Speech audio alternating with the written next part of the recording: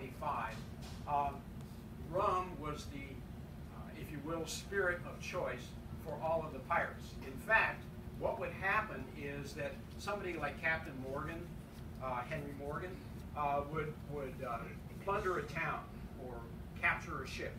And they would take all of the rum that they could find, and when they would divvy up the shares from the booty, uh, Captain Morgan would do is make sure that everybody got his apportioned share of rum and gold and so on. And so all the pirates would spend most of their money buying more rum after they had gone through the rum that had been captured uh, by plundering the town.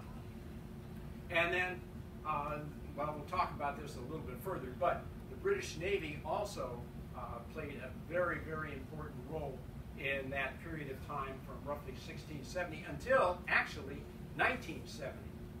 And again, we'll talk about this a little bit more. So, in the 18th to the 20th century in the Caribbean, we had a real problem, and that was what to do with uh, a declining market in crystalline sugar, but also a, uh, if you will, declining market in rum and molasses.